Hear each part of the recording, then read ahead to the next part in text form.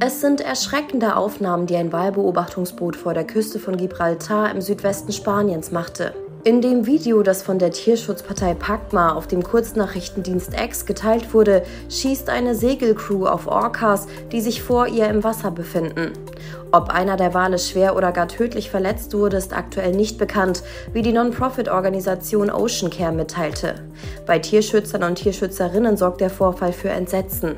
Wir müssten unbedingt verhindern, dass sich Menschen von Orcas bedroht fühlen und sich zu solch gewalttätigen Reaktionen hinreißen lassen, so Ocean Policy-Experte Carlos Bravo. In den vergangenen Jahren häuften sich Berichte von vereinzelten Orcas, die Ruderblätter von Booten attackierten und so für Schäden sorgten. Dies sei jedoch keine Rechtfertigung für Szenen wie diese, ergänzt Mark Simmons, Direktor des Wissenschaftsbereiches bei Ocean Care.